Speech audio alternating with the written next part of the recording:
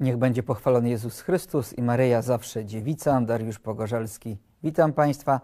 Zapraszam na Polski Punkt Widzenia. Naszym gościem dzisiejszego wieczoru jest ojciec profesor Wojciech Kluj, oblat Maryi Niepokalanej, wykładowca misjologii na Uniwersytecie Kardynała Stefana Wyszyńskiego. Szczęść Boże, ojcze profesorze. Cześć. A będziemy rozmawiać o misjach, bo właśnie trwa tydzień misyjny. E, ojcze profesorze, jaki jest cel organizowania właśnie takiego tygodnia? Przecież każdy, kto chodzi do kościoła, to wie, czym zajmują się misjonarze, co robią, gdzie pracują.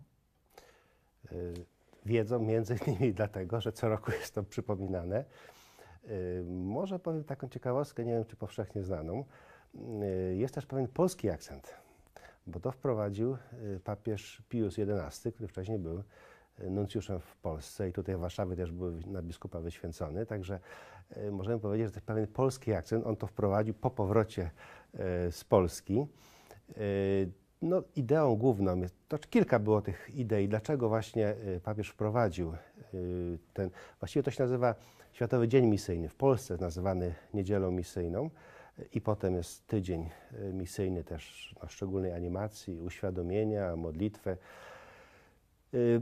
Papież doszedł do wniosku, no mówiąc żartobliwie też pod polskim wpływem, tutaj, znając polskie realia, ale y, papież doszedł do wniosku, że dotąd y, wszystkie animacje, y, cała animacja misyjna czy wysiłki były, opierały się właściwie na czy to zakonach, czy na świeckich stowarzyszeniach, katolickich oczywiście. I doszedł do wniosku, że to musi być to jednak dzieło całego Kościoła, nie tylko poszczególnych jednostek, to jest taka, jako swoiste hobby dla takich no, fanatyków y, tych zagadnień, ale to jest zadanie całego Kościoła. Później Sobór Watykański II powie, że cały Kościół jest misyjny.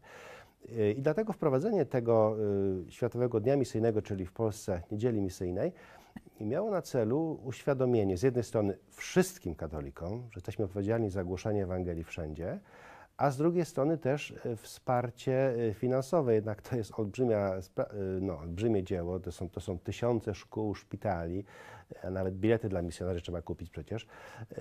No więc takie poszczególne dzieła małe nie były w stanie sprostać aż takiemu wielkiemu dziełu. Dlatego też jest ta... No tak, bo z tego, co naucza mm, Kościół, misjonarzem jest, może być, a właściwie jest każdy z nas.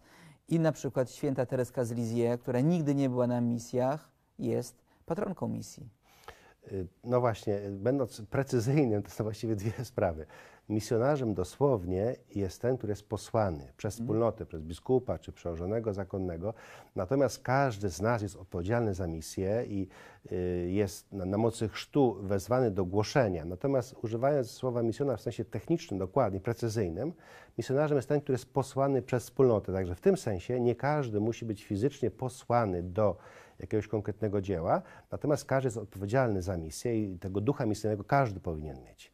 A dobre mamy wyobrażenie, bo często tak sobie wyobrażamy e, misjonarzy, że to jest taki kapłan lub zakonnik z brodą, który płynie gdzieś łodzią po Amazonce albo w jakichś dopływach Amazonki.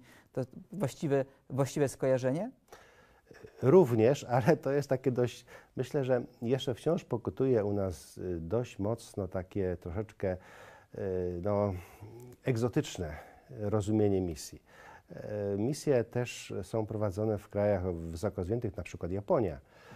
Y, Dzisiaj różne sposoby oddziaływania to nie muszą być takie w tych biednych częściach świata, egzotycznych, tropikach, y, też są w Arktyce przecież. Także misje to niekoniecznie taki mit kiedyś znany z słonej wody, hen, daleko ktoś wyjeżdża, ale też głoszenie Ewangelii tam, gdzie, gdzie nie ma całych żywych wspólnot wiary, czyli to mogą być różne miejsca.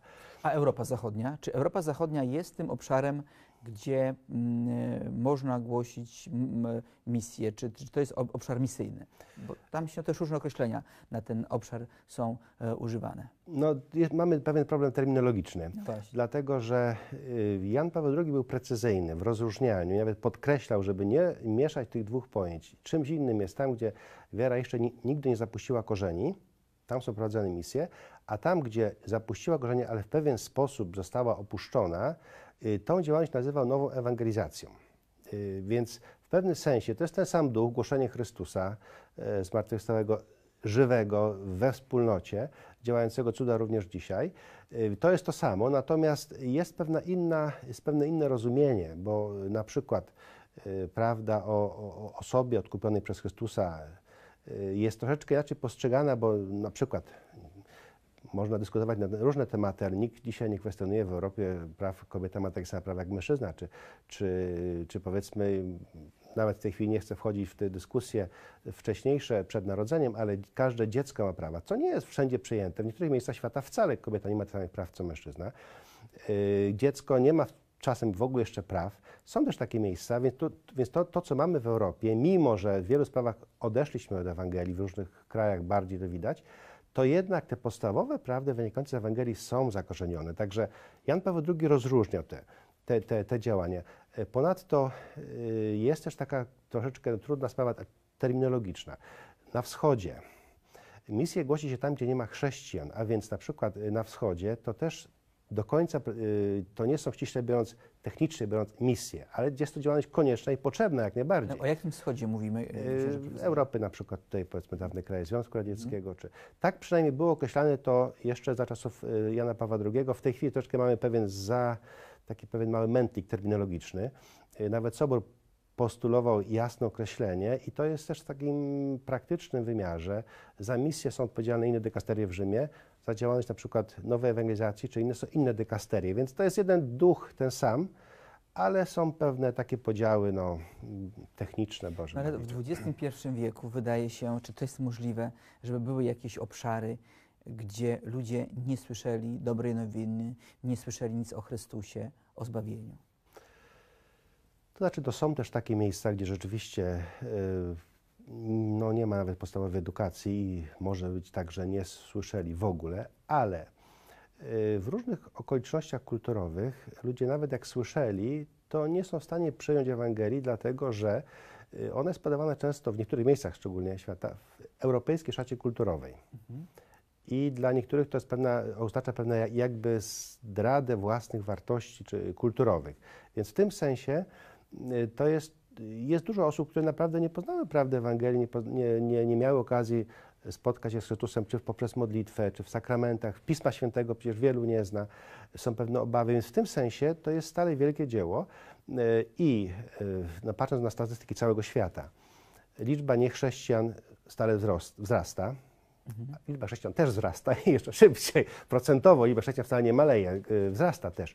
Natomiast, y, natomiast y, mamy stale wielkie pole, pole działania, ale to przede wszystkim to jest dzielenie się dobrą nowiną. To nie jest kwestia techniki, skuteczności jakiejś zewnętrznej, a to jest pewne działanie misteryjne, jak Pan Bóg działa. To, to nie jest kwestia, że ktoś lepiej, gorzej y, prowadzi szkołę, czy szpital, czy, czy jest lepszym, czy gorszym kaznodzieją, czy kierownikiem duchowym. Y, I to jest też to jest wielkie bogactwo też wchodzenia w różne nowe kultury. Y, Nawet te podstawowe modlitwy. To y, troszeczkę inaczej brzmi powiedzmy Ojcze Nasz czy Zdrowaś Maryjo. Jak miałem okazję pracować trochę na Madagaskarze. Pewne skojarzenia też kulturowe są zupełnie inne. Y, Nawet takich modlitw. No powiedzmy może taki prosty przykład powiem. W polskiej wersji Zdrowaś Maryjo mówimy owoc żywota Twojego. Żywot to słowo staropolskie. Oznacza łon, owoc łona Maryi. Oryginał z tego się wywodzi. Ale jak ktoś nie wie tego, to jego modlitwa wcale nie jest gorsza przez to. Jest tak samo skuteczna. Czyli pewne rzeczy, a mimo że skojarzenia są inne, taki przykład z języka polskiego, ale w każdej kulturze mamy podobne, różne inne sytuacje, które właśnie poszerzają ten. y, Prawdy wiary są większe niż tylko to, co my rozumiemy też w naszej postaci kulturowej, a więc misje też pomagają pogłębić e, też prawdę o Chrystusie, czy no, o zbawieniu, prawdę o Kościele w innych kontekstach kulturowych, także to jest stałe ubogacanie się. E, Ojcze profesorze, główne obszary działania e, misjonarzy to jest e, Ameryka Południowa, Afryka, Azja częściowo, tak? E, To są chyba te główne kierunki, tak? Czy to znaczy polskich miejsce? w tej chwili, Polskich, polskich mhm. misjonarzy głównie tak. Natomiast, y, no, no bo na tych kontynentach są tak faktycznie prowadzone misje, oceanie też jeszcze Mhm. y, trzeba by tutaj doliczyć, licząc oddzielnie od Azji. Natomiast myślę, że czymś troszeczkę innym jest, y, jest dynamizm młodych kościołów. Y, Czasem te kościoły są bardzo dynamiczne. Liczba chrztów y, bardzo szybko rośnie, na przykład w Chinach, gdzie w ogóle nie ma, nie ma w tej chwili misjonarzy oficjalnie, no bo to jest zakazane, jeśli są to małe grupki, tak na pół legalnie. Więc, y, ale dynamika młodych kościołów, stale, st- które były kiedyś zaszczepione przez misjonarzy, jest taka czasem aż nas zaskakuje, jak bardzo ludzie pragną y, Ewangelii, jak pragną przyjąć chrzest. No powiedzmy w kraje typu Chiny czy prześladowania. Natomiast jeśli chodzi o otwarcie misyjne, czyli tą wolę dzielenia się Ewangelią, to też tutaj mnie zawsze ostatnio fascynuje Azja. Na przykład w Indonezji, gdzie chrześcijanie są mniejszością, to jest kraj, największy muzułmański kraj świata, y, chrześcijanie, w tej chwili powiedzmy katolicy, są bardzo misyjni. Licząc na statystyki, to my w ogóle połowę nawet osiągamy tego poziomu, przeliczając na liczbę katolików, liczbę misjonarzy, których oni posyłają. Ja może potem powiem, pokażę taki, y, jak się bardzo zmienia sytuacja misyjna. Y, Przykład akurat z jednej parafii, y, tam miałem znajomych w Londynie, gdzie proboszczem jest ksiądz pochodzący z Nigerii. Większość wiernych parafii stanowią Filipińczycy. Przyjeżdża na urlop misjonarz pochodzący, Anglik pochodzący z tej parafii, który pracuje w Indonezji. I zastanawiam się, który kościół raz, który posyła, który jest, który jest posyłający, który jest, który jest miejscowy.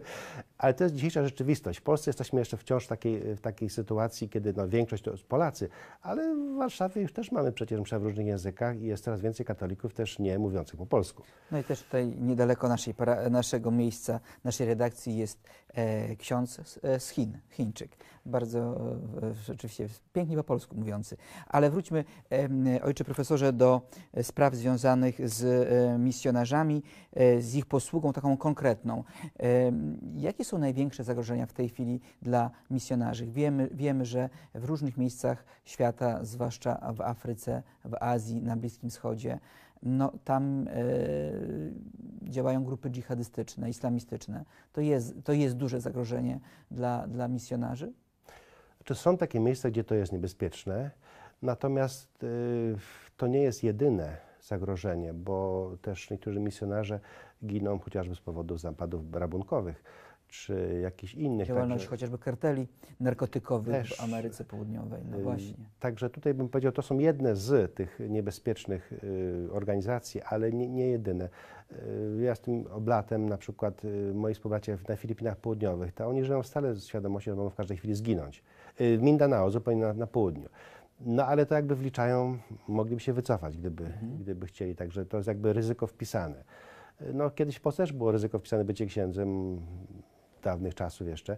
Y, Także y, są takie miejsca, natomiast w wielu miejscach nie ma tego typu niebezpieczeństwa. Są, są oczywiście no, niebezpieczeństwa związane z chorobami No czy z właśnie, innymi sytuacjami. wielu, wielu, wielu y, misjonarzy, księży, zakonników czy sióstr zakonnych e, po prostu, no, będąc na misjach, na, choruje na różne bardzo egzotyczne niekiedy choroby. Jaka jest wtedy pomoc? Na jaką pomoc mogą liczyć takie osoby, tacy duchowni?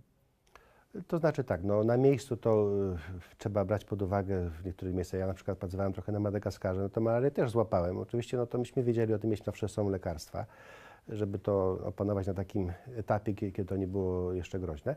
Natomiast y, no, czasem są jakieś nietypowe choroby, więc zazwyczaj misjonarze mają pewne przygotowanie medyczne, to podstawowe i gdyby była taka potrzeba, to nawet czasem są takie nadzwyczajne operacje typu transport śmigłowcem czy samolotem gdzieś nawet do Europy, jeśli trzeba, w poszczególnych przypadkach.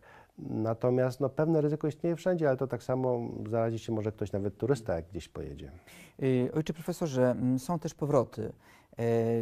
Cze- Niektórzy e, księża, ojcowie po 10, 20, 30 lat są na misjach, no ale przychodzi ten moment powrotu do, do, do, do Polski. To jest e, trudny moment dla, dla, dla misjonarza. No to jest zawsze pewne, pewna trudność taka, jaka wiąże się w pewnym sensie, na przykład zmianą pracy, tylko tu oczywiście w większym stopniu. Yy, Papież Pius XII w tej swojej słynnej encyklice Fidei Donum wprowadził właśnie ten pomysł wyjazdów czasowych. Nawet krótkich, rok, dwa, jeśli trzeba w jakiejś diecezji pomóc na przykład. Natomiast y, jeśli ktoś pracuje dłużej, oczywiście, no, powiedzmy moi współbracia, którzy pracowali 40 lat, powiedzmy w Kamerunie czy gdzieś indziej w innym kraju, Oni wracając do Polski na urlopy, oni nie wiedzą, że trzeba mieć lekarza rodzinnego, trzeba mieć pierwszego kontaktu, nie wiedzą, co to jest PESEL, nie wiedzą, co to są. Takie jeszcze dla nas podstawowe. No trzeba się no, pomagać, no, y, czy pomóc, jak wyleczyć zęby w czasie urlopu, czy inne rzeczy. Tam gdzie, tam, gdzie jest to trudne, bo to zależy od kraju, w niektórych krajach nie ma żadnego problemu z tym. Ale właśnie powrót, no, y, to jest problem nie tylko w Polski, ale mm, ogólnie skraca się czas pobytu misjonarzy. Kiedyś to było oczywiście kilkadziesiąt lat, dzisiaj niektórzy wyjeżdżają dosłownie na kilka lat. E, Misjonarze świeccy czasem są 2, 3, 4 lata, 5, więc ten okres się skraca. A więc z jednej strony mamy w Polsce coraz więcej ludzi, którzy pracowali na misjach, dawnych misjonarzy. To jest pewne bogactwo. y, Ubogacają różne polskie pomysły niekiedy tego, co nie, co nie było, tym, co nie było znane wcześniej. Natomiast z drugiej strony, jeśli to jest okres krótki, no to w miarę łatwo wejść z powrotem. Jeśli to okres dłuższy, no to jest to czasem taki też problem psychiczny, a przestawienia się. Na przypadku osób świeckich, świeckich misjonarzy, no na przykład, jeśli ktoś był lekarzem, yy, to wciąż te sprawy nie są do końca uregulowane prawnie. Pracował jako lekarz misyjny powiedzmy 10 lat, a w Polsce ma pokazaną dziurę, że nie pracował przez 10 lat. Teraz wszelkie prawa, zawodu i tak dalej, więc yy, tam no, są w niektórych przypadkach pewne problemy, to Komisja Misyjna troszkę pomaga, żeby No, te... Polski Kościół jest dość hojny, dlatego że wielu e, misjonarzy posyła e, z posługą y, do, do, do, do, do tych miejsc, gdzie, gdzie, gdzie ta posługa jest potrzebna. 2032 misjonarzy e, w, w obecnie właściwie e, pracuje na misjach. To dużo. No to nie jest mało. Gdybyśmy też tak doliczyli tą liczbę, która się w to nie, nie, nie wpisuje w, tą, w te 2000, y, tych, którzy pracują chociażby na wschodzie, to też jest no, liczba, myślę, że po, mniej więcej porównywalna, nie, nie, nie ma takich statystyk prowadzonych.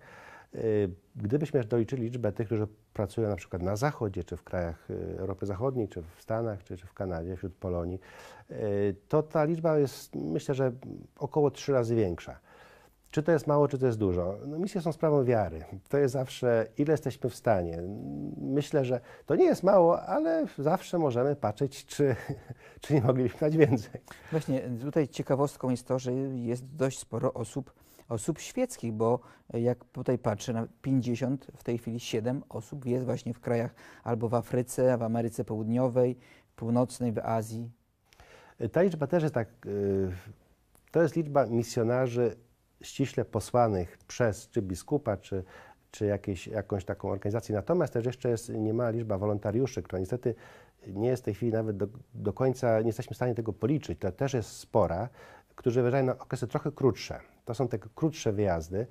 Yy, Także liczba też de facto jest większa osób świeckich pracujących na Ale misjach. Te, ci wolontariusze, którzy jadą na misję, trafiają na przykład do parafii prowadzonych przez polskich e, kapłanów, przez polskie siostry, e, do placówek prowadzonych przez polskie siostry? Znaczy to różnie, to nie muszą być e, prowadzonych przez Polski. Najczęściej to są albo takie wolontariaty przy diecezjach, albo przy zakonach. W tej chwili w Polsce najwięcej takich przy zakonach prowadzonych.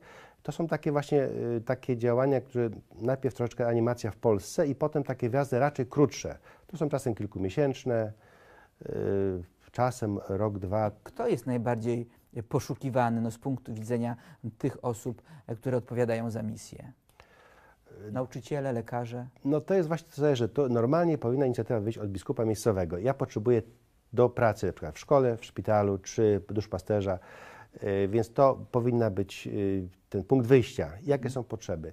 Natomiast y, no, z polskiej perspektywy, jak ktoś chce, to czasem tak szuka, gdzie na przykład mógłby coś pomóc i to wtedy zależy. Jak to są wyjazdy krótsze, no to czasem jest taka animacja trochę z dziećmi, pomoc w jakichś tam na przykład ośrodkach dla dzieci, czy jakichś tam y, podstawowych szkołach, coś takiego. To, co mogą zrobić wtedy. No i też warto o tym powiedzieć, że 24 biskupów na świecie e, to są polscy misjonarze. Tak, to też jest taka liczba, która nam pokazuje, że, że już powierzane są nam też, czy polskim misjonarzom, no, odpowiedzialne role prowadzenia diecezji. Najwięcej w tej chwili, jeśli się nie mylę, to jest w Brazylii siedmiu e, polskich Trzech redemptorystów. Trzech redemptorystów, tak. w tym. Y, Także, ale też w innych krajach, także to też pokazuje pewne zaufanie do sposobu prowadzenia pracy przez polskich misjonarzy. Y, Ojcze profesorze, bardzo dziękuję za tę rozmowę. M, Mam nadzieję, że przybliżyliśmy naszym e, widzom e, specyfikę i posługi i, znaczenie misji. Zachęcamy do wspierania dzieł misyjnych na różne sposoby. Można je wspierać, są strony internetowe, e, teraz były zbiórki w świątyniach i o misjonarzach trzeba pamiętać i w modlitwach, i w darach To serca. przede wszystkim właśnie w modlitwie. Od tego się zaczyna. Dziękuję księże profesorze. Naszym gościem w tym wydaniu Polskiego Punktu Widzenia był ojciec profesor e, Wojciech Kluj, wykładowca misjologii na Uniwersytecie Stefana Kardynała Wyszyńskiego. Dziękuję pięknie. Dziękuję. Dziękuję Państwu za uwagę. Na Polski Punkt Widzenia zapraszamy już jutro o 21.40. To tradycyjnie e, początek naszego programu. Teraz życzę Państwu dobrej, spokojnej nocy. Z Panem Bogiem. Dobranoc.